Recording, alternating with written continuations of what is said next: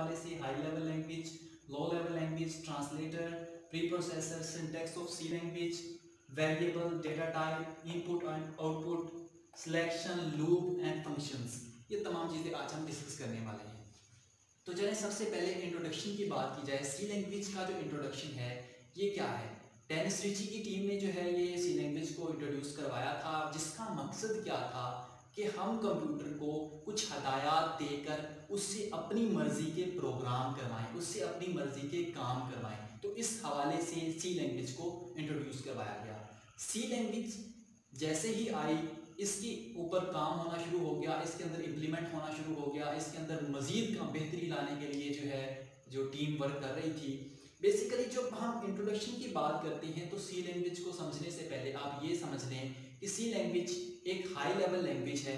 ऐसी लैंग्वेज जो इंसानों के नज़दीक होती है और कंप्यूटर से दूर होती है, जिसे इंसान समझ सकते हैं, लेकिन कंप्यूटर समझ नहीं सकता। ठीक है? तो सबसे पहले हम बात करते हैं कंप्यूटर लैंग्वेज की, कि कंप्यूटर लैंग्वेज क्या होता है। सी लैंग्वेज की डेप्थ में जाने से पहले कंप्यूटर लैंग्वेज के बारे में देखते हैं। देखिए कंप्यूटर जो होता है आपके पास, वो एक ऐसा आला है जिसे समझना, जिसको समझाना मुश्किल है। उसे हम कुछ ना कुछ हदायत देते हैं उसके ऊपर प्रोसेस करता है, उसे समझता है, फिर उसके मुताबिक वैसे रिएक्ट करता है। आज आपके पास बहुत सारे रिपोर्ट इस वक्त जो है बन चुके हैं। 2020 चल रहा है तो बहुत सारे रिपोर्ट आपके सामने हैं। तो वो रिपोर्ट्स को हम कर क्या रहे हैं? क्या रिपोर्ट को हम कह रहे हैं कि आप ये काम करो? नहीं।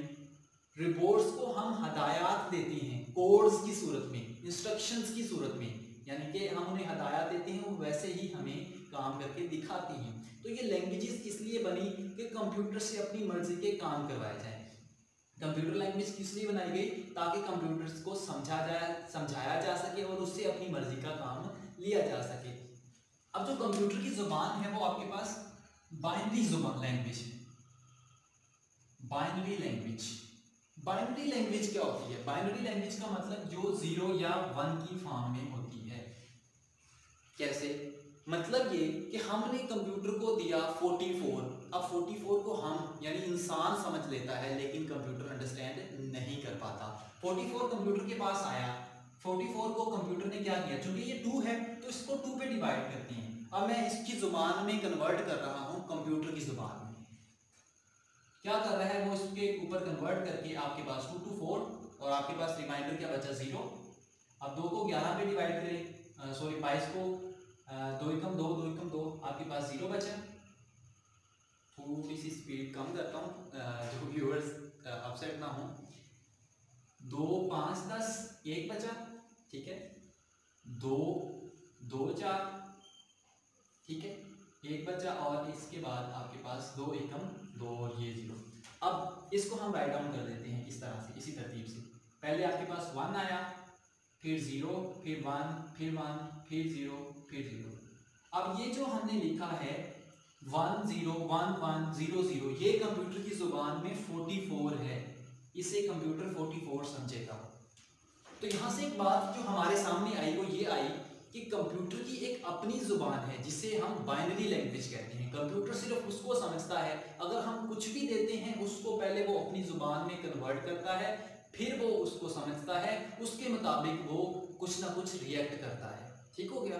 तो ये तो थी कंप्यूटर लैंग्वेज अब जैसे कि मैंने कहा कि सी लैंग्वेज एक हाई लेवल लैंग्वेज है। अब चूँकि हम बात करने जा रहे हैं हाई लेवल लैंग्वेज की हाई लेवल लैंग्वेज क्या होती है? जो क्या है आपके पास? इंसानों के नज़दीक होती है। नियर टू ह्यूमन जरा देख लीजिए। Near to human far from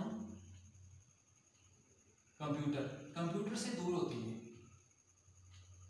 अब जैसे मैंने अभी ये सारा कुछ लिख रहे हैं हम, हमारी ज़ुबान है। ये बेसिकली क्या है? हमारी ज़ुबान है। हम इसे समझ लेते हैं। अब क्या लिखा हुआ है, मुझे पता चल रहा है एग्जैक्टली exactly. लेकिन अगर मैं इसकी बजाय ये लिख दूँ तो आप ज़्यादा से ज़्यादा इसको गिनती के कुछ वर्ड समझेंगे। लेकिन इसके पीछे कंप्यूटर की अपनी टर्म होगी। कंप्यूटर इसको कुछ और समझेगा। हम इसे कुछ और समझ रहे हैं। लेकिन कंप्यूटर से कुछ और समझेगा। ठीक है? तो कंप्यूटर, ये जो हमारी ज़ुबान है, यानी हाई लेवल लैंग्वेज है, वो इंसानों के नज़दीक होती है, कंप्यूटर से दूर होती है। अब कंप्यूटर के नज़दीक लाने के लिए क्या करना पड़ेगा? उसे कन्वर्ट करना पड़ेगा। जैसे मैंने अभी 44 को कन्वर्ट करके क्या बनाया? बाइनरी लैंग्वेज बनाया। ठीक हो गया? परेशानी तो नहीं है कहीं से? उम्मीद करता समझ आ रही हो। अच्छा लो लेवल लैंग्वेज अब हम बात करते हैं low level low level language का मतलब है जो कंप्यूटर के नज़दीक होती है और इंसानों से दूर होती है। अब इसी को देख लेते हैं। Definition near to computer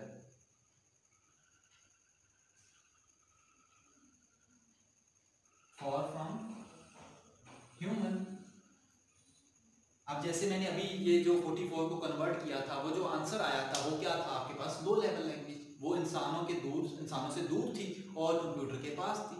जो ज़ुबान कंप्यूटर के नज़दीक तरीन होती है, उसे हम क्या कहते हैं लो लेवल लैंग्वेज कहते हैं। इसकी एक एग्ज़ाम्पल ले लें।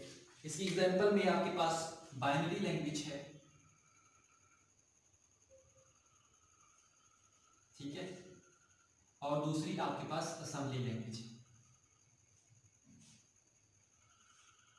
ठीक है? बाइनरी लैंग्वेज जो ज़ीरो या वन की फॉर्म में होती है और जो असेंबली लैंग्वेज है it is one step higher than low level language इसमें मिक्सिंग होती है ह्यूमन लैंग्वेज भी होती है और साथ में प्लस आपके पास अल्लाह भला करे लो लेवल लैंग्वेज भी होती है। Human plus low level language ठीक है? यानी ये ह्यूमन लैंग्वेज भी है और साथ में लो लेवल लैंग्वेज भी है। या हाई लेवल लैंग्वेज भी है, साथ में प्लस आपके पास लो लेवल लैंग्वेज भी है। इसका सेंटेक्स अगर लिखें तो इस तरह से होता है। मूवमन मूव ए एक्स ज़ीरो। इस तरह की ये इसके अंदर जो है इंस्ट्रक्शंस दी जाती हैं असेंबली लैंग्वेज के अंदर। अब आप कहेंगे, सर हाई लेवल लैंग्वेज की तो आपने कोई एग्ज़ाम्पल ही नहीं दी। तो हाई लेवल लैंग्वेज आपके पास सी लैंग्वेज है। इसी तरह और भी बहुत सी जुबानें हैं, मैंने सारी डिटेल के साथ नहीं बता रहा। कुछ और एग्ज़ाम्पल लिख देते हैं सी लेवल जो हाई लेवल लैंग्वेज की। जैसे आपके पास इसकी एग्ज़ाम्पल में C C plus plus C sharp Java ठीक है? इस तरह की बहुत सारी लैंग्वेजेस हैं जो कि क्या है? आपके पास हाई लेवल लैंग्वेजेस हैं। क्लियर हो गया? इंशाल्लाह आपको समझ आ रही होगी, क्योंकि मैं बहुत ही आसान लफ्ज़ों में समझा रहा हूँ। ठीक है? या ये मेरे कहने का है क्या क्योंकि maybe maybe some students को समझ ना आ रही हो, लेकिन कोशिश कीजिए इंगेज होने की। जैसे जैसे मैं समझा रहा हूँ, वैसे वैसे आप समझिए। किसी किस्म का कोई सवाल है, आप नीचे कमेंट बॉक्स में हमसे पूछ सकते हैं। ट्रांसलेटर। अब आ गई बात ट्रांसलेटर की। मैंने बात कही थी low level high level language की। अब देखिए मैंने सी लैंग्वेज में कोई प्रोग्राम लिख दिया। मसला यहाँ पर आया तो कंप्यूटर से समझेगा कैसे? उसे करेगा ट्रांसलेट क्या करेगा? ट्रांसलेट अपनी ज़ुबान में लेके आएगा। जैसे मैंने 44 को टू पे डिवाइड करके उसको एक ज़ुबान में लेके आया था। थोड़ा सा पीछे जाके देख सकते हैं आप, ठीक है? तो वहाँ पर आपने देखा कि 44 को मैंने कन्वर्ट किया टू से। कन्वर्ट करके बाइनरी फॉर्म बनाई। तो बेसिकली वो जो कन्वर्ट कर रहा है ट्रांसलेट कर रहा है, उसे क्या कहते हैं हम? ट्रांसलेटर कहते हैं। इसकी तीन टाइप्स होती हैं। कितनी types three types number one देखिए जरा। कंपाइलर नंबर टू इंटरप्रेटर और नंबर थ्री असम्बलर ठीक हो गया? अब बात करते हैं हम कंपाइलर की। ट्रांसलेटर की टाइप्स हैं। टाइप्स ऑफ़ ट्रांसलेटर्स कंपाइलर क्या होता है? कंपाइल करना। अब यहाँ पर ना एक लफ्ज़ और आएगा। ये लाजमी याद रखिएगा। कंपाइल कंपाइल ये बड़ी दफ़ा रिपीट होना है। तो सी लैंग्वेज में इस लफ्ज़ के, इसको समझ लें, अपने पल्ले बाँध लें। कहते हैं ना पल्ले बांधना। तो आपने ये पल्ले बाँध लेना है। क्योंकि ये लफ्ज़ आपके बार बार इस्तेमाल होने वाला है। कंपाइल का मतलब ये होता है हाई लेवल लैंग्वेज से लो लेवल लैंग्वेज में कन्वर्ट करना। क्या करना? हाई लेवल लैंग्वेज को हाई लेवल लैंग्वेज को ट्रांसलेट करना या दूसरे लफ्जों में कंपाइल करना या कन्वर्ट करना इनटू लो लेवल लैंग्वेज ठीक है? ये लो लेवल लैंग्वेज में कन्वर्ट करता है। इसे दूसरे लफ्जों में हम सोर्स कोड भी कहते हैं। हाई लेवल लैंग्वेज को सोर्स कोड भी कहते हैं। डायरी ले लीजिए, उस पर ये लिखते जाइए, जीता जीता पॉइंट्स क्या? सोर्स कोड भी कहते हैं। ये मैं साइलेंट में लिख रहा हूँ सॉरी ये एब्रीवेशन की सूरत में। एस मतलब सोर्स और सी से कोड सोर्स कोड और इसे ऑब्जेक्ट कोड भी कहते हैं। ठीक हो गया? ये आप राइट डाउन कर लीजिए ताकि आपको ये भूले ना ठीक है?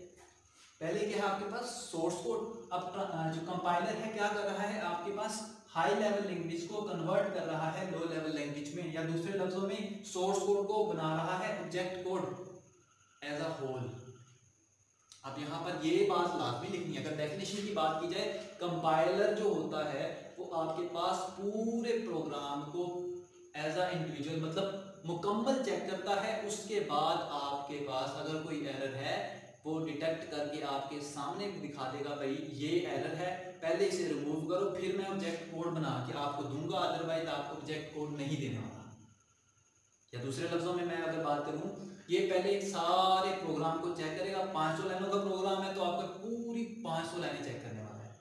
500 लाइनें चेक हो गई, उसके बाद क्या करेगा? लाइन नंबर 202 में गलती है जी। लाइन नंबर 302 में गलती है जी।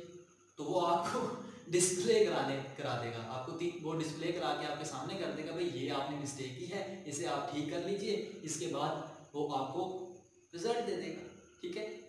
मतलब मुकम्मल प्रोग्राम को उसने चेक करना है, उसके बाद आपको रिज़ल्ट देना है। तो होपफुल होपफुली आपको समझ आ रही होगी, ठीक है? तो ये तो था कंपाइलर इसके बाद जो इसका दूसरा भाई है ना, वो आपके पास इंटरप्रेटर है। क्या है? इंटरप्रेटर इंटरप्रेटर क्या होता है?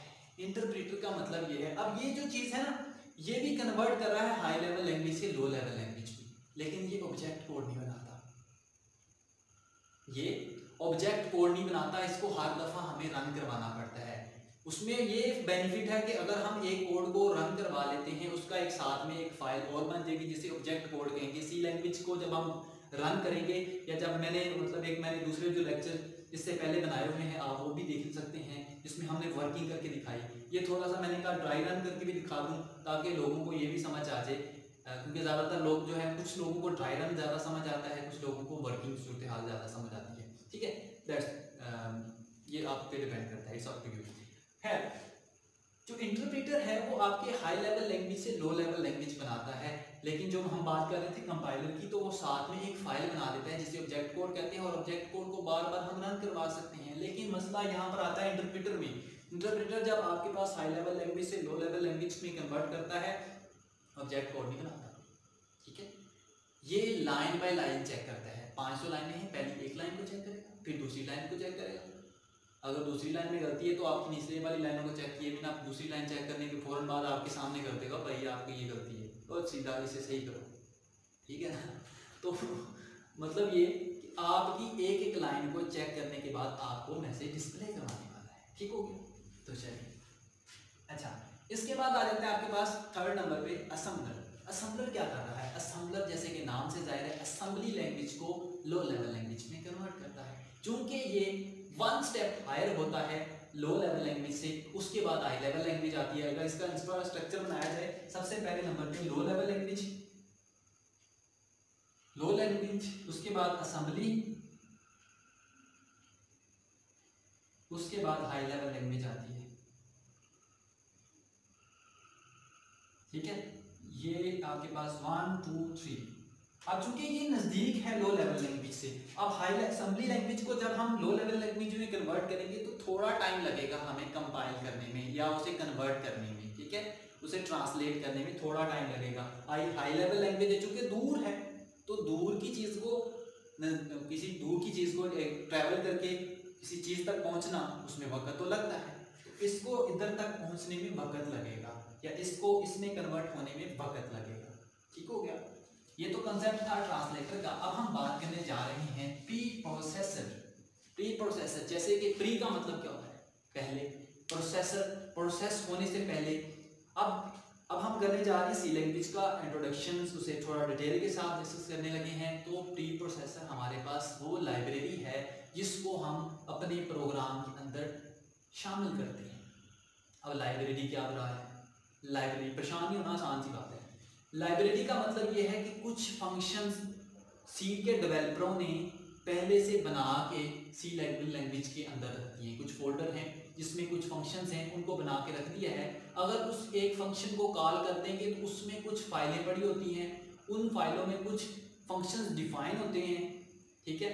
उन फ़ंक्शंस की बिना पर हम कुछ खास फ़ंक्शंस को इस्तेमाल कर सकते हैं अपने प्रोग्राम के अंदर, ठीक है? दोबारा से बात रिपीट करता हूँ, ये एक बात छोटी सी मतलब मिस्टेकली कल बोल बैठा हूँ, वो बात ये थी कि सी लेवल लैंग्वेज के अंदर कुछ लाइब्रेरीज होती हैं, उन लाइब्रेरीज में कुछ मखसूस फ़ंक्शंस होते हैं डिफाइन क्या? उनको जब हम अपने प्रोग्राम के अंदर इंक्लूड करवाते हैं, इस तरीकाकार को हम प्री प्रोसेसर डायरेक्टरी कहते हैं, या प्री प्रोसेसर मेथड कहते हैं। इसके लिए हम इस्तेमाल करते हैं हैश इंक्लूड ये मेथड है, जो हमारे हर प्रोग्राम के टॉप पे लिखा जाता है। अगर इसे नहीं करेंगे तो प्रोग्राम रन नहीं होने वाला। ठीक है? इसके बाद हम एक लाइब्रेरी लिखते हैं और ये अंडरस्टूड सी लाइब्रेरी है, जिसकी बना पर हम S T D I O dot H इसके अंदर। अब ये जो है, आपके पास सी के जो आपके पास सी ड्राइव है ना सी ड्राइव में एक फोल्डर बना होगा, जिसमें एस टी डी ओ का नाम होगा, जिसमें दो फ़ंक्शंस जो हैं एक तो है प्रिंट एफ़ और दूसरा है स्कैन एफ़ ठीक है? प्रिंट एफ़ और स्कैन एफ़ इस S T D I O dot H के अंदर डिफाइन होते हैं। अब जब मैं इस लाइब्रेरी को इंक्लूड करता हूँ, यानी प्री प्रोसेसर को अपने प्रोग्राम में इंक्लूड करता हूँ तो मैं इस अहल हो जाता हूँ कि इन दो फ़ंक्शंस को अपने प्रोग्राम के अंदर इस्तेमाल कर सकूँ। कहीं पर भी जैसे ज़रूरत पड़ती है मैं इस्तेमाल कर सकता हूँ। ठीक हो गया? तो ये थी आपके पास प्री प्रोसेसर ठीक है? इसके बाद अब हम सेंटेक्स लिखने जा रहे हैं सी लैंग्वेज का सेंटेक्स सेंटेक्स ऑफ़ सी सबसे पहले नंबर पे आपके पास hash include S T D O ये जो एस टी डी है, ये आपके पास स्टैंडर्ड इनपुट आउटपुट लाइब्रेरी है स्टैंडर्ड लाइब्रेरी है। दूसरे लफ्जों में इसे हम स्टैंडर्ड लाइब्रेरी भी कह सकते हैं।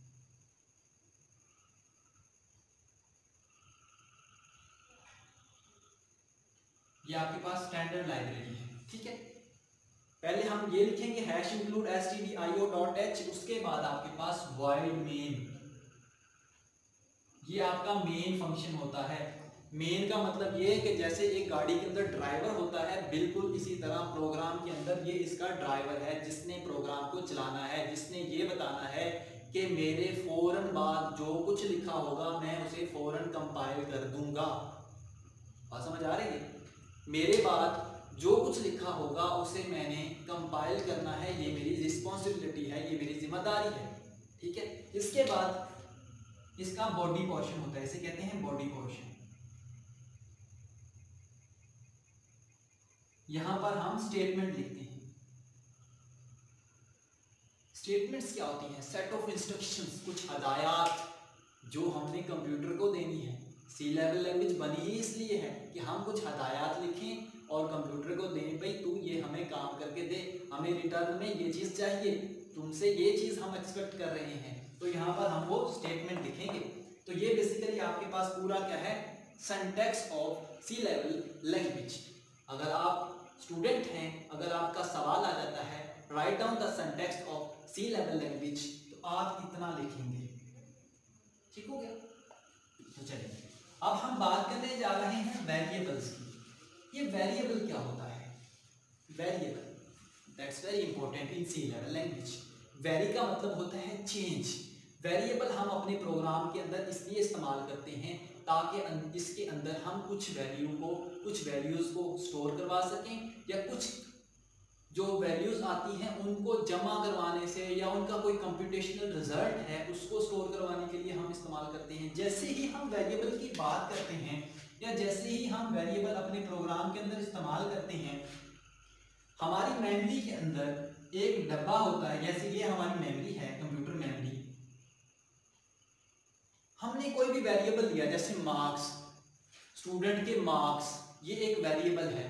तो वेरिएबल को हम जब डिक्लेयर करवाते हैं डिक्लेयर की बात भी हम आगे डिटेल के साथ करने वाले हैं। जैसे ही हम डिक्लेयर करवाते हैं, एक डब्बा बन जाता है उस नाम का मेमोरी के अंदर, जिसका नाम क्या है, जो हमने नाम लिखा होगा मार्क ठीक है? इसे वेरिएबल कहते हैं। यानी कि हम अपनी प्रोग्राम के अंदर कुछ वैल्यूज़ को स्टोर करवाने के लिए या उनके कंप्यूटेशनल रिजल्ट्स को स्टोर करवाने के लिए जिस चीज़ को इस्तेमाल करते हैं, उसको हम वेरिएबल बोलते हैं। अब यहाँ पर एक चीज़ आ जाती है वेरिएबल डिक्लेरेशन और वेरिएबल इनिशियलाइजेशन डिक्लेरेशन का मतलब ये होता है, जैसे हमने कोई प्लाट नया लेना हो तो कहते हैं ना, ये तेरे नाम पे डिक्लेयर हो चुका है। ठीक है? अब इसकी मलकियत जो है, वो तुम्हारी है। ठीक है? तो हम क्या कर रहे होते हैं, उसको डिक्लेयर करने मतलब उसको असाइन कर देते हैं, उसे दे देते हैं कि भाई ये आपके हो चुका है। बिल्कुल सेम जब हम किसी वेरिएबल की डिक्लेरेशन की बात करते हैं उसमें दो चीज़ें होती हैं। एक तो वेरिएबल का नाम और उसकी डेटा टाइप ये याद रखिए वेरिएबल डिक्लेरेशन की अगर बात करें, बच्चे भूल जाते हैं ये अक्सर। वेरिएबल डिक्लेरेशन में दो चीज़ें होती हैं। एक तो आपके पास डेटा टाइप और दूसरा वेरिएबल नेम वी नेम का मतलब वेरिएबल नेम और उसके बाद उसे टर्मिनेट करना होता है। ये जो सिंबल है, इसे टर्मिनेटर बोलते हैं। सेमी कॉलन को टर्मिनेटर बोलते हैं। ठीक है? जितनी भी स्टेटमेंट हम सी लेवल लैंग्वेज के अल्लाह भला करे बॉडी में इस्तेमाल करेंगे, उसके बाद उसे टर्मिनेट करेंगे। सवाए फ़ंक्शंस को। फ़ंक्शंस को हमने टर्मिनेट नहीं करना। ये ख्याल कीजिएगा। ठीक है? जैसे मैंने अभी बताया डेटा टाइप अब फ़र्ज़ कर लें, मैं एक डेटा टाइप लेता हूँ मार्क्स मार्क्स के लिए मार्क्स चूँकि हमारे पास ये चीज़ डेटा टाइप आपके पास नीचे है तो इसको भी डिस्कस कर लेते हैं। आ, लेकिन इससे पहले हमारा एक कंसेप्ट है वेरिएबल इनिशियलाइजेशन तो उसको हम डिस्कस करने के बाद इंशाल्लाह डेटा टाइप की तरफ़ मूव करते हैं। ये तो था किसी वेरिएबल का डाटा टाइप डिफाइन करना साथ उसके वेरिएबल का नाम डिफाइन करना इसे हम कहते हैं वेरिएबल डिक्लेरेशन अब इसके बाद इनिशियलाइजेशन की बात करें वेरिएबल इनिशियलाइजेशन की तो उसमें एक चीज़ और ऐड कर लें वो है वैल्यू डेटा टाइप दूसरी वेरिएबल का नाम और साथ वेरिएबल की वैल्यू असाइनमेंट ऑपरेटर इस्तेमाल करते हुए वेरिएबल की वैल्यू असाइन कर देना, उसे हम कहते हैं वेरिएबल इनिशियलाइजेशन देख लीजिए। यहाँ पे नाम भी लिख देता हूँ। ताकि क्लियर हो जाए।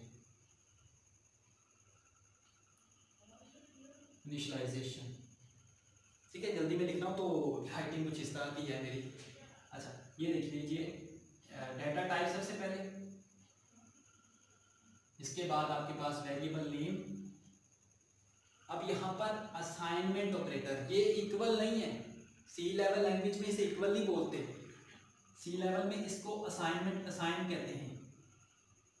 ये असाइन के लिए होता है। ठीक है? ये असाइन के बुलाती है इसे डिस्कस करते हैं इसके बाद। इसके बाद आ जाती है आपके पास वैल्यू बस इसमें ये फ़र्क है। इनिशियलाइजेशन में डिक्लेरेशन में दो चीज़ें होती हैं डाटा टाइप और वेरिएबल नेम और इनिशियलाइजेशन में data type variable name assignment operator और साथ में वैल्यू क्लियर हो गया? अब ये ये जो चीज़ मैंने डेटा टाइप इस्तेमाल की, ये क्या वाला है? इसको हम डिस्कस करने जा रहे हैं अब। Data type that's very important data type क्या है? कि हमारे पास किस टाइप का डेटा है? जैसे कि नाम से ज़ाहिर हो रहा है।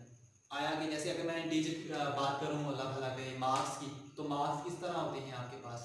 नंबर्स की सूरत में होते हैं नुमेरिक होते हैं तो उसके लिए हम इस्तेमाल करते हैं सी लेवल लैंग्वेज के अंदर इंटीजर यानी इंट उसके लिए एक कीवर्ड इस्तेमाल किया जाता है जिसे हम इंट बोलते हैं। इंट वो किसके लिए? न्यूमेरिक डाटा के लिए। ये आ गया आपके पास न्यूमेरिक डाटा के लिए। इसी तरह अगर हम जैसे अल्फ़ाबेट इस्तेमाल करने जा रहे हैं। A grade B grade C grade student का आया है। तो उसके लिए हम इस्तेमाल करेंगे चार। सी एच ए आर चार कहाँ से निकलता है? करेक्टर से।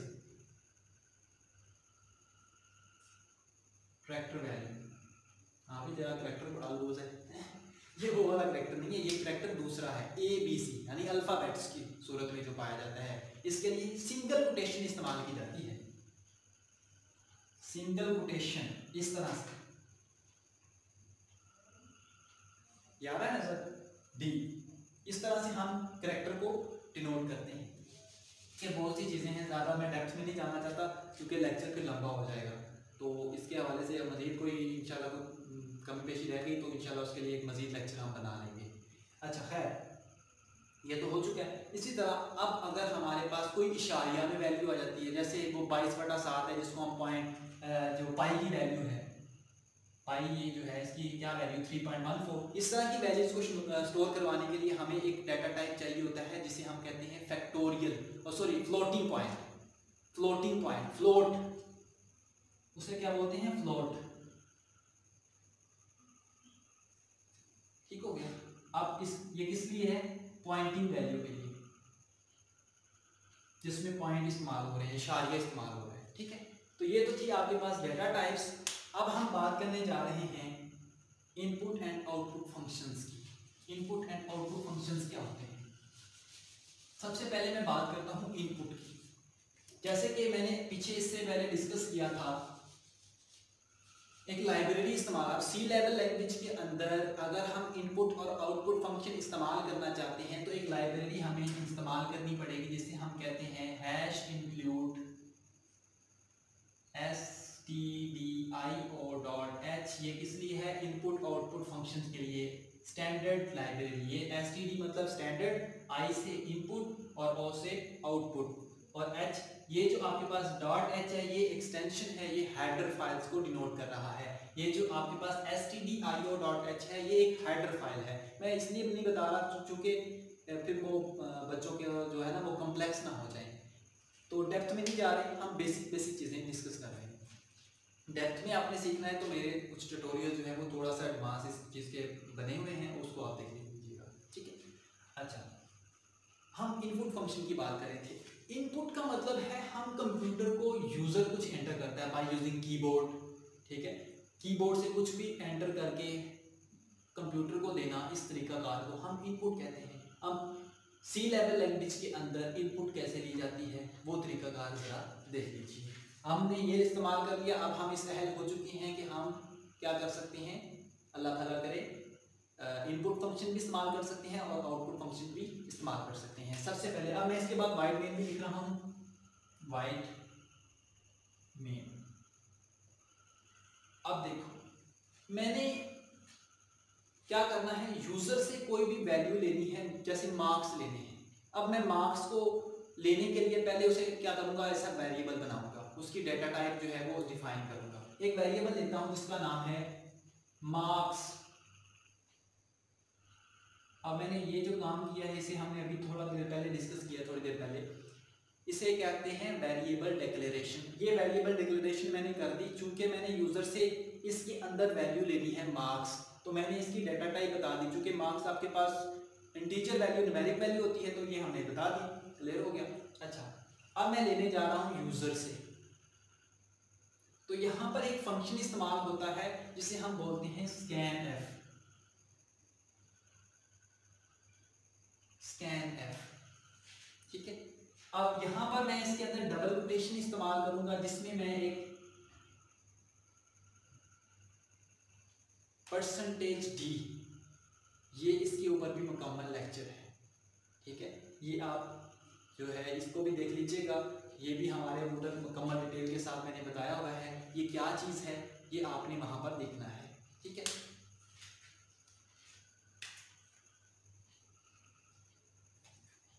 अच्छा सॉरी परसेंटेज डी नहीं। हाँ जी, बिल्कुल। परसेंटेज डी क्योंकि हमारे पास डिजिट है। डिजिट के लिए अब चलिए थोड़ा सा मैं यहाँ पर डिस्कस कर देता हूँ। ये जो हमारे पास इंटीजर वैल्यू के लिए हम क्या कर रहे हैं, जब भी इंटीजर वैल्यू को नीचे कॉल करना होगा तो हम परसेंटेज डी के ज़रिए से कॉल करेंगे, ठीक है? उसके बाद अगर हमने चार टाइप को कॉल करना है तो हम परसेंटेज सी इस्तेमाल करेंगे। अगर हमें फ्लोट का लेना है तो हम परसेंटेज एफ़ इस्तेमाल करेंगे। तो ये हमारे पास कुछ हैं इस्तेमाल होते हैं, इन्हें हम अच्छा यहाँ पर आपके पास मार्क्स आ गया।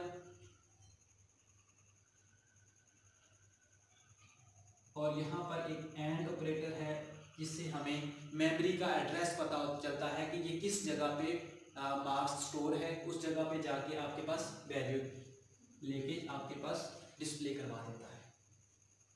ठीक है? अब ये आपके पास एक वेरिएबल ले लिया उसने। इस तरीका कार को हम क्या कहते हैं? इनपुट करवाना ये इसके अंदर ही लिखना आपने, ये जो तरीका का मैंने यहाँ पर लिखा, इसे हम इनपुट कहते हैं। क्या कहते हैं? इनपुट करना। ये जो एक लाइन मैंने लिखी है, जिसमें यूज़र से वैल्यू ली है मार्क्स जिसे हम क्या कहते हैं? इनपुट लेना। जी तो अब हम इसकी बात कर रहे थे परसेंटेज डी ये हमारे पास फॉर्मेट स्पेसिफायर है। इसके ऊपर कंप्लीट लेक्चर जो है वो मैंने बनाया हुआ है। लेकिन थोड़ा सा हम यहाँ पर डिस्कस कर देते हैं कि ये क्या चीज़ है। अगर हमारे पास इंटीजर टाइप का आ जाता है तो उसके लिए हम फॉर्मेट स्पेसिफायर परसेंटेज डी इस्तेमाल करते हैं। चार के लिए परसेंटेज सी फ्लोट के लिए परसेंटेज एफ़ ये हमारे पास इनपुट फ़ंक्शन हो गया। इसके बाद अब हम बात करने जा रहे हैं आउटपुट फ़ंक्शन की।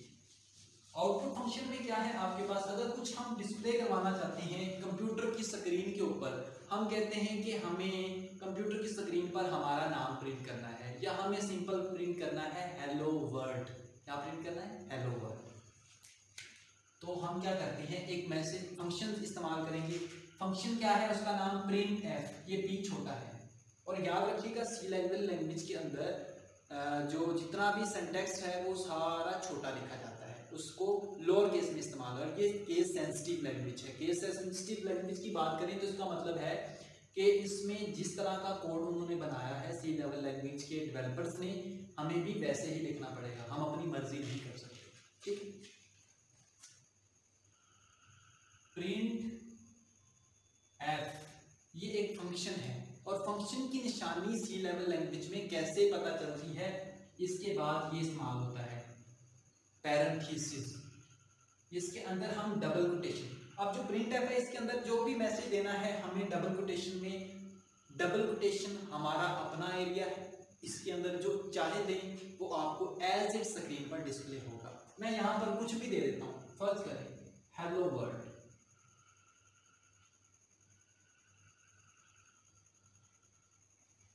इसके बाद में इसे रन कर दे बंद कर देता हूँ तो ये आपके पास क्या हो जाएगा?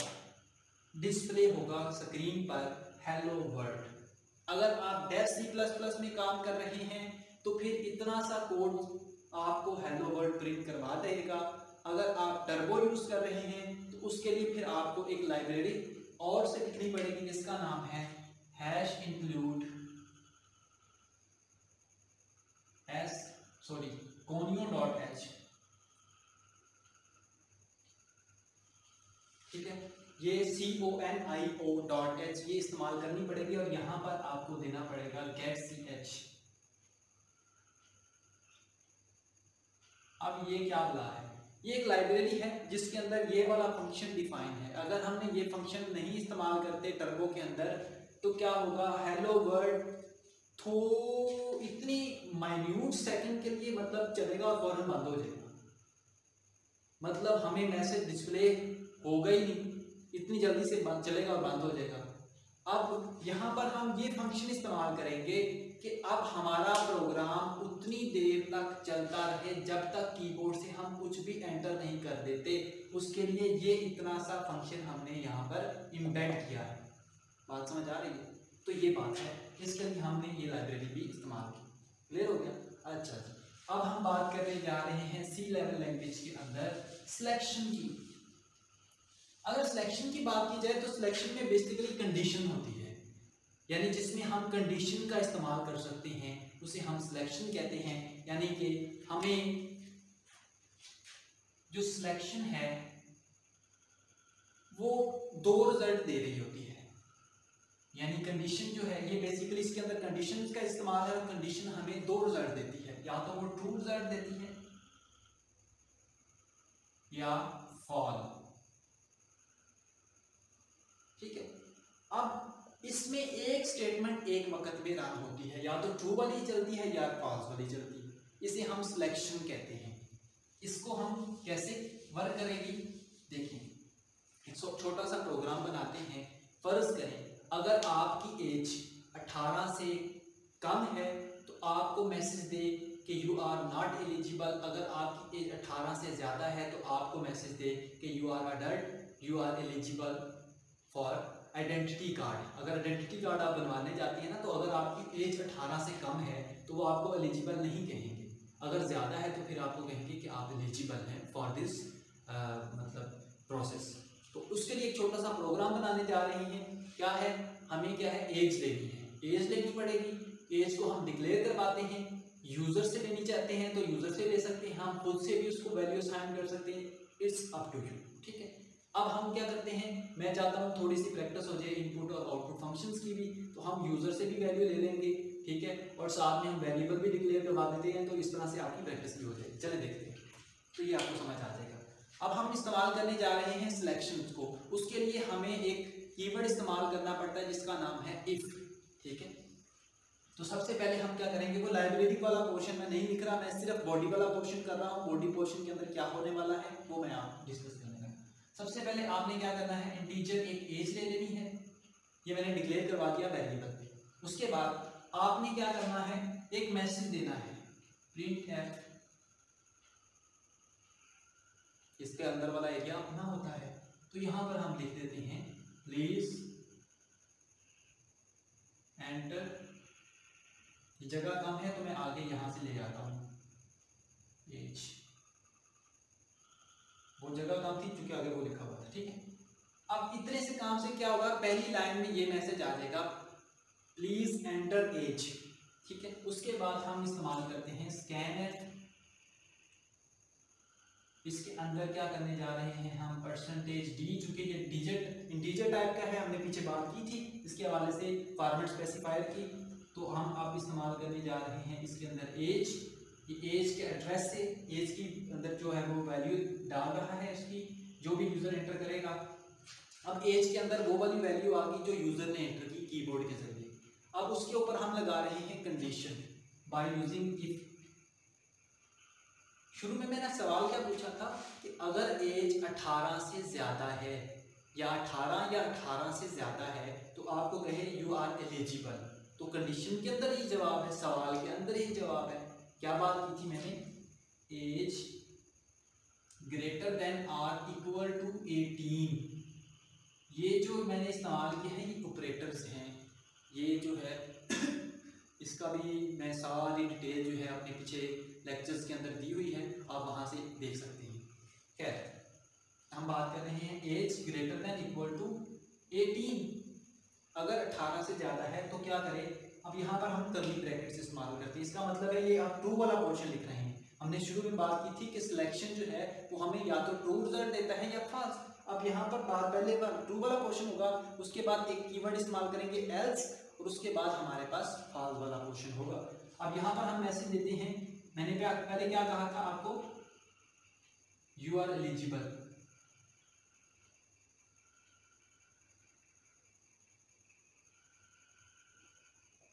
ठीक है तो ये चूँकि अभी हमने इसको कर लिया है तो अब इसे अरेज ही कर दें तो बेहतर है। अच्छा तो इसके बाद हम इसे बंद कर देते हैं। अब ये तो हो गया ट्रू वाला पोर्शन इसके बाद मैं लिखूँगा एल्स वाला पोर्शन यानी फॉल्स वाला पोर्शन ये ट्रू वाला पोर्शन है। अब एल्स फॉल्स वाला पोर्शन इसके अंदर मैं क्या करने जा रहा हूँ? मैसेज देता हूँ कि यू आर नॉट एलिजिबल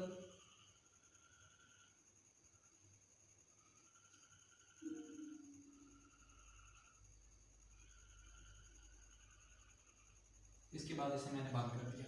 मैं छोटा सा मुख्तर सा लिखा है। तो मतलब समझाने का ये था कि ये आपके पास प्रोग्राम है जिसमें हमने सिलेक्शन को इस्तेमाल किया, एक कंडीशन लगाई, ठीक है? इसके अंदर ये ट्रू वाला पोर्शन होता है, इसमें एक से ज़्यादा भी स्टेटमेंट हो सकती है, एक भी स्टेटमेंट हो सकती है। इसके बाद फॉल्स वाला पोर्शन होता है, उसमें एक स्टेटमेंट भी हो सकती है, एक से ज़्यादा भी स्टेटमेंट हो सकती है। अगर देखिए एज हमारा यूज़र जो है, यहाँ कीबोर्ड से वैल्यू 18 देता है तो आपके पास ये वाली चलेगी 18 से ज़्यादा देता है, तब भी ये चलेगी। 18 से कम, यानी वन से लेके सत्रह तक देता है तो ये वाली चलेगी। ठीक हो गया। इसे कहते हैं selection in C level language ठीक है? उसके बाद हम बात करने जा रहे हैं। लूप की।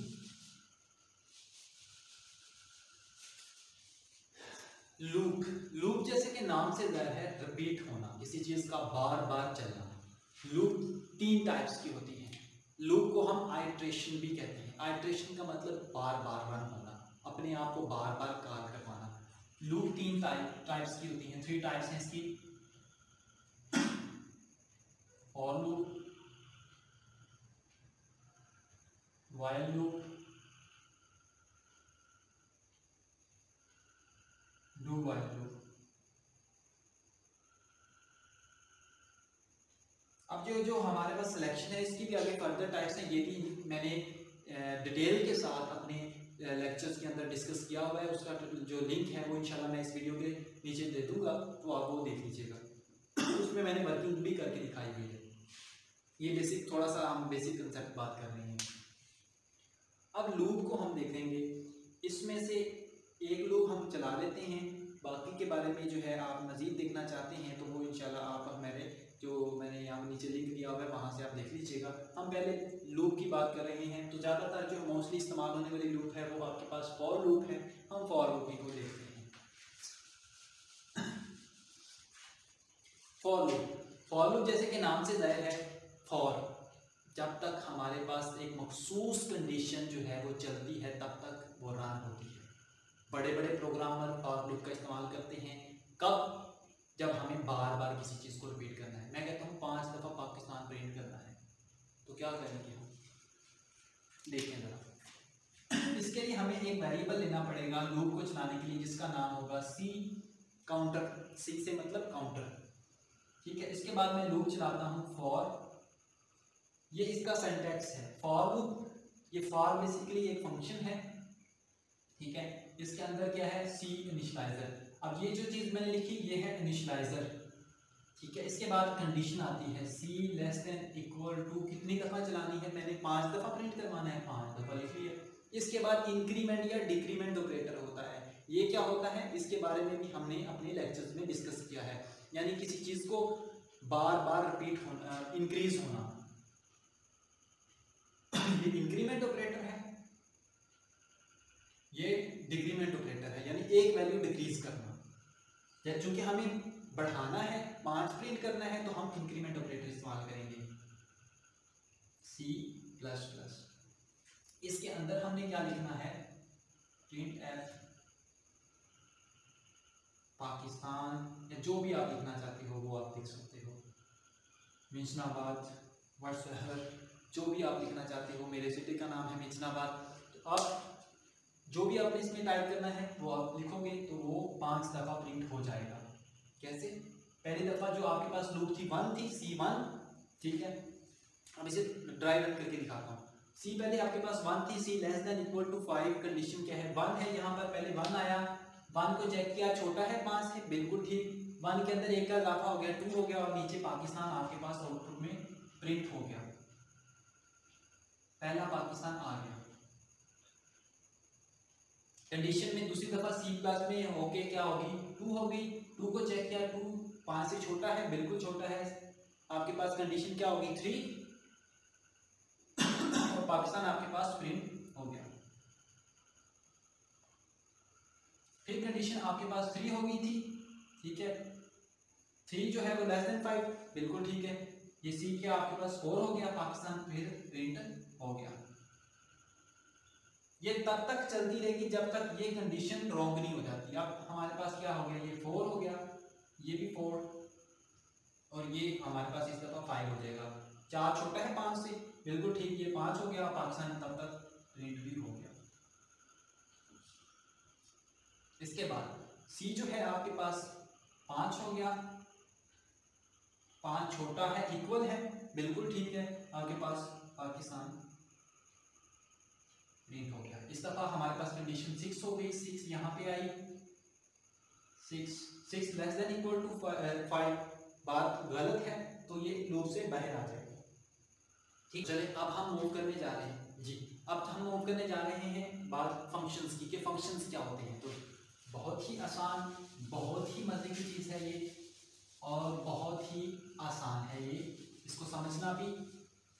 तो चलें फ़ंक्शंस क्या होते हैं? सबसे पहले मैं फ़ंक्शन के बारे में बता दूँ कि फ़ंक्शन हम इस्तेमाल क्यों करते हैं? फ़ंक्शन बेसिकली हम इसलिए इस्तेमाल करते हैं ताकि हम बार बार बहुत लंबा सेंटेक्स जो है वो अगर हमें इस्तेमाल करने की ज़रूरत पड़ रही है तो बार बार हमें स्टेटमेंट लिखने की ज़रूरत नहीं है। हम क्या करते हैं, एक फ़ंक्शन बना के रख लेते हैं, जहाँ पर ज़रूरत पड़ी उसे कॉल कर लेंगे तो क्या होगा, हमें ज़्यादा लंबा कोड नहीं लिखना पड़ेगा। बात दोबारा से रिपीट करता हूँ, जब एक बात हमें 500 लाइनों के कोड में बार बार इस्तेमाल करनी पड़ रही है तो हम एक फ़ंक्शन बना लें, उसको कॉल कर लें। अब लाइनें बेहतर है कि उसको एक दफ़ा बना के रख लिया तो उसमें हमने पाँच लाइनें का कोड है फ़र्ज़ करें। तो अब बजाय पाँच लाइनों को हम बार बार इस्तेमाल करें, एक फ़ंक्शन के ज़रिए एक लाइन में हम उसे कॉल कर लेंगे, उसमें वेरिएबल पास करवा के उससे हम वो वाला काम ले लेंगे। ठीक है? इसलिए हम फ़ंक्शन इस्तेमाल करते हैं। इसे देखते हैं। आपको आसानी से समझ आ जाएगी। दो टाइप्स के फ़ंक्शन होते हैं built in function and user defined function built in function जैसे कि आपके पास प्रिंट ऐप स्कैन ऐप ये पहले से डिफाइनेबल होते हैं। जो डेवलपर हैं सी वाले, उन्होंने पहले से डिफाइन किया हुआ होता है।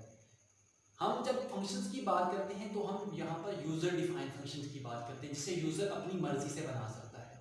ठीक है? तो आए हम एक छोटा सा फ़ंक्शन बनाते हैं, उससे इस चीज़ को क्लियर करते हैं कि ये फ़ंक्शंस क्या होते हैं। हम यूज़र डिफाइन फ़ंक्शन की बात कर रहे हैं, जो यूज़र डिफाइन करता है। फ़ंक्शन को डिफाइन करने से पहले उसमें एक चीज़ इस्तेमाल होती है, जिसे कहते हैं फ़ंक्शन डिक्लेरेशन जैसे हमने बात की थी वेरिएबल डिक्लेरेशन सेम इसी तरह आपके पास फ़ंक्शन डिक्लेरेशन होती है, जिसमें फ़ंक्शन के बारे में बताया होता है कि इस फ़ंक्शन को मैंने आगे प्रोग्राम के अंदर इस्तेमाल करना है। जैसे एक मूवी लॉन्च होने से पहले उसका ट्रेलर आता है, उसके बाद मूवी आती है, बिल्कुल सेम लाइक दैट अगर आप मेन से पहले इस्तेमाल करते हैं फ़ंक्शन तो फिर आपको ट्रेलर देने की ज़रूरत नहीं है। यानी आज ही मैंने मूवी लॉन्च करनी है तो मुझे ट्रेलर देने की ज़रूरत तो नहीं अगर मुझे एक माह के बाद या एक हफ़्ते के बाद लॉन्च करनी तो आज मैं उसका ट्रेलर दे सकता हूँ। ठीक हो गया? फ़ंक्शन को पहले क्या करना पड़ता है? डिक्लेयर करना पड़ता है। कहाँ पर? हैश इंक्लूड लाइब्रेरी के बाद मैं मुकम्मल कोड लिख देता हूँ। एक सम का फ़ंक्शन बना रहे हैं, जिससे आपको इस चीज़ का मुकम्मल इंफॉर्मेशन मिल जाएगी। Hash include S T D I O dot H ये आपके पास लाइब्रेरी आ गई। इसके बाद हम हम फ़ंक्शंस को इनिशलाइज करवाएँगे डिक्लेयर करवाएँगे। फ़ंक्शन को डिक्लेयर करवाने से पहले फ़ंक्शन की डेटा टाइप और उसमें इस्तेमाल होने वाले पैरामीटर्स जैसे ट्रेलर में क्या होता है? मूवी के अंदर इस्तेमाल होने यानी कि काम करने वाले हीरो और हीरोइंस के बारे में बताया जाता है। सेम लाइक दैट आपके पास फ़ंक्शन में क्या होता है? फ़ंक्शन में इस्तेमाल होने वाले पैरामीटर्स या वेरिएबल्स के बारे में बताया जाता है। फ़ंक्शंस के बारे में हम बना रहे हैं सम का फ़ंक्शन हमने ये फ़ंक्शन का नाम दे दिया, उसमें हमने इस्तेमाल किया दो वेरिएबल हैं जिनका नाम है ए और इंट बी ये दो वेरिएबल इसके अंदर इस्तेमाल यहाँ पर एक ही बात मैं लिख रहा हूँ कि मैं इसे टर्मिनेट कर रहा हूँ। मैंने थोड़ी देर पहले एक बात कही थी कि फ़ंक्शंस को तो टर्मिनेट नहीं करते, साथ एक बात और भी कही थी, अगर आपको याद हो, कि बॉडी के अंदर फ़ंक्शंस को टर्मिनेट नहीं बॉडी के अंदर ये बॉडी नहीं है। ये बॉडी से बाहर हो रहा है। ठीक है? तो आपने यह नहीं परेशान होना कि सर ने कहा था कि आपने फ़ंक्शंस को टर्मिनेट नहीं करना, यहाँ पर आपने फ़ंक्शन को टर्मिनेट कर दिया। ये बॉडी से बाहर है। बॉडी के अंदर फ़ंक्शन को टर्मिनेट हम नहीं करते। वाइट में यहाँ पर हमने हमारा मेन पोर्शन है यहाँ पर हम क्या सूरत हाल है हमने दो वेरिएबल देने हैं यूज़र से उसकी वैल्यू देनी है उसके ऊपर प्रोसेस करवाने के लिए हम फ़ंक्शंस के पास चले जाएँगे। फ़ंक्शन हमें वो काम करके अपनी वैल्यू जो है आ, वो रिटर्न करवा देगा। कैसे? देख लीजिए सबसे पहले हमें क्या करना है? दो वेरिएबल लेने हैं जिसका नाम है नाम वन एन वन ले देता हूँ। एन टू ये दो वेरिएबल है। यूज़र से मैं वैल्यू ले लेता हूँ जी। Printf enter number. First number.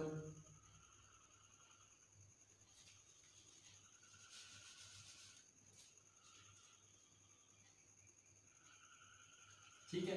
इसके बाद स्कैनर से परसेंटेज डी यहाँ पर मैंने एन वन ले लिया। छोटा एम इस्तेमाल किया तो छोटा ही लिखूँगा। इसके बाद सेम इसी को मैं दोबारा रिपीट करने वाला हूँ।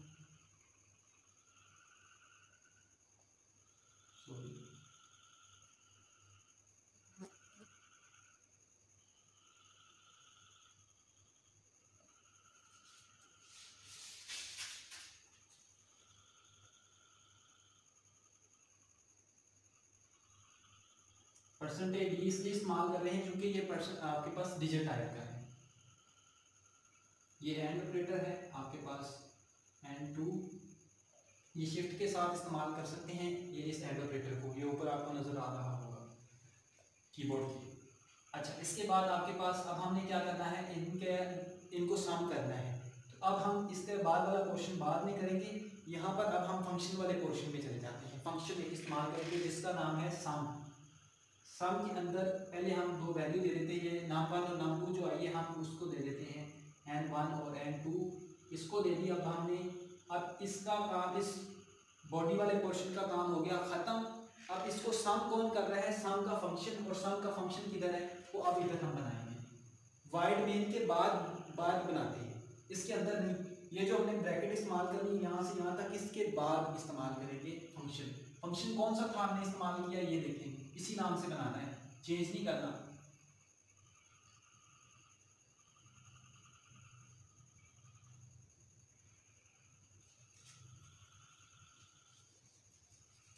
ठीक हो गया। इसके बाद अब यहाँ पर क्या हो रहा है? एक हमें और वेरिएबल लेना पड़ेगा जिसका नाम है आपके पास सम या हम सम ना लें, क्योंकि फ़ंक्शन का नाम भी सम है तो ये भी सम हो जाएगा तो मसला आ जाएगा। आप ऐड कर लेंगे। ऐड ऐड में अब आप क्या कर रहे हैं? इन दो वेरिएबल्स को ऐड कर रहे हैं। अब यहाँ पर इन दोनों को डिक्लेयर करवाने की ज़रूरत नहीं है। ये पैरामीटर पहले से यहाँ पर डिफाइनेबल है तो ये डिक्लेयर करवाने की ज़रूरत नहीं है। ऐड के अंदर अब क्या हो रहा है? आपके पास ए प्लस बी और उसके बाद प्रिंट एफ़ कर रहा है। आपके पास परसेंटेज डी और यहाँ पर इसे कॉल कर लेते हैं ऐड को इसको हम क्लोज किया।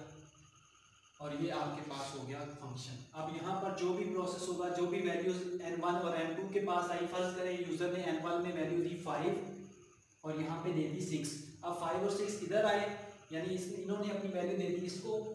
तो यहाँ पर एक ऐड का फ़ंक्शन बनाया था जिसके अंदर हमने क्या किया? ए के अंदर वैल्यू है पाँच और इसके अंदर वैल्यू है छः. जमा क्या हुआ? ग्यारह. ग्यारह ऐड में आई.